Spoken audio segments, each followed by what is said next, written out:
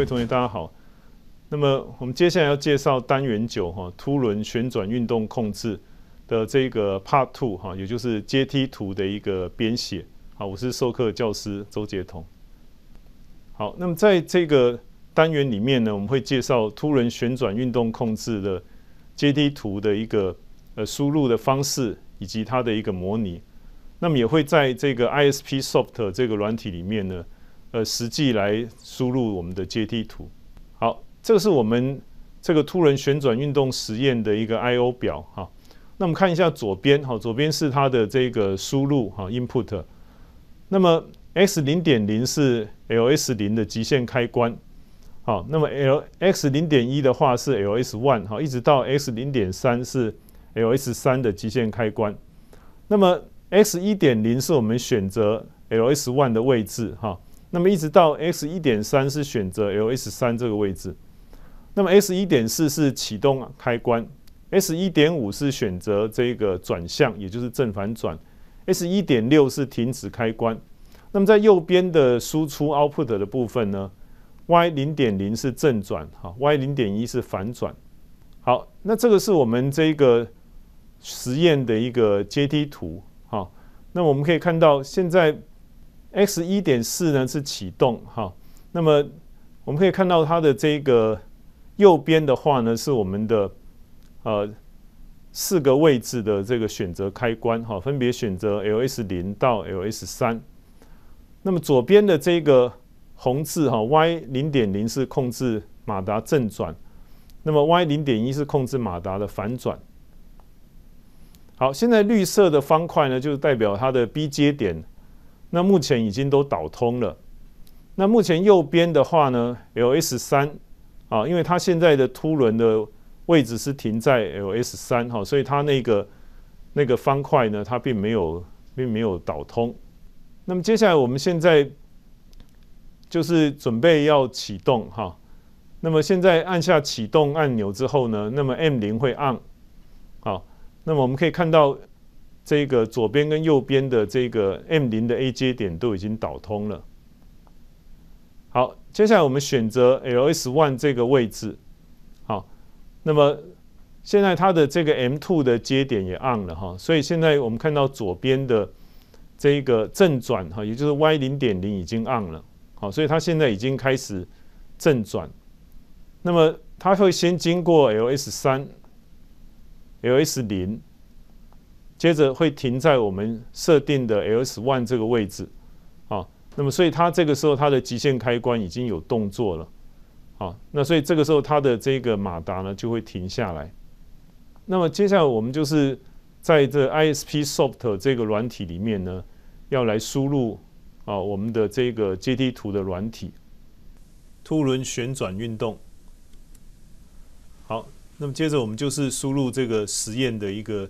阶梯图，好，那么我们是图形化的方式来输入这个 SFC 的阶梯图哈。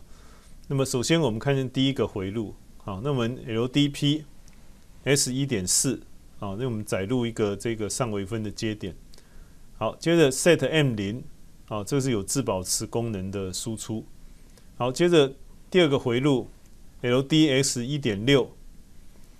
好，那么 ZRS 七是这个区域性的一个 reset 哈，那我们这个 ZRS T M 零到 M 十三，好，那它可以全部一次把它 reset。接着下一个回路 LDI M two，好，那么载入 M two 的 B 接点。好，那么 set M one，好，这也是有自保持功能。然后 reset M one。好，那我们在这个 M one 前面呢，再串联一个 S 一点五的 A 接点。好，那么在 Reset M one 前面呢，再加上一个 S 一点五的 B 接点。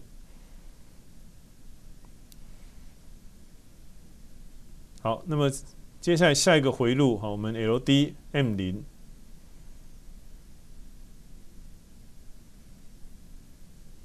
好，那么。A N D M two 哈，就串联一个 M two 的 A 接点。好，接着 Out Y 零点零。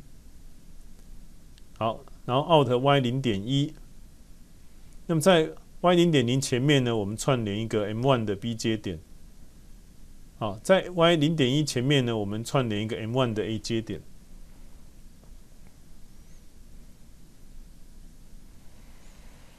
好，那么我们这个是载入 M two 的一个下微分接点。好，那么 ZRST M 十到 M 十三，好，我们把 M 十到 M 十三呢，呃，一次给它 reset。好，下一个回路 LDM 零，好，set M 十，好，那么接着 set M 十一，set M 十二。以及 set M 十三，那么在这些辅助继电器之前呢，我们再去加入一些其他的接点啊。那么这个载入 X 一点零，好，串联 S 零点零的 B 接点。那么在 M 十下面呢，再加上 set M two，好。那么 M 十一前面呢，载入 S 一点一，然后串联 S 零点一的 B 接点。好，那么同时在下面再加上 Set M two。好，那么在 M 十二的前面呢，我们加上这个呃载入 S 一点二，然后再串联 S 零点二的 B 接点。同时在 M 十二下方呢，也是加入 Set M two。好，那么在 M 十三前面呢，我们加上了这个 S 一点三的上微分接点，那么同时串联 S 零点三的 B 接点，那么在它下方也加入了 Set M two。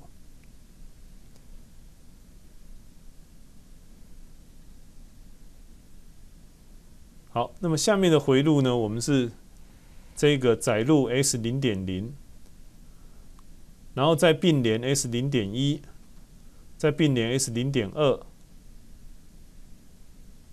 好，那么就用 OR 这个指令哈，然后就再并联 S 零点三，好，接着 AND M 十，哈，在 S 零点零的右方，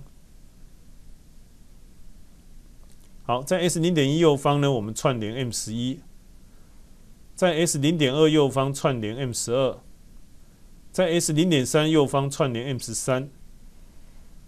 好，就是输出的部分呢，我们 set M two。好，那么接着我们就进行这个编译哈，compiler 的动作。好，那么如果编译没有错误的话呢，我们就可以下载到我们的 POC 去执行我们这个实验啊，那看看结果是否正确。好，那么接着我们就对这个单元做一个结论哈。那么透过我们这个。单元的介绍，我们可以了解凸轮旋转运动控制单元它的阶梯图的原理，以及它的一个动作的模拟。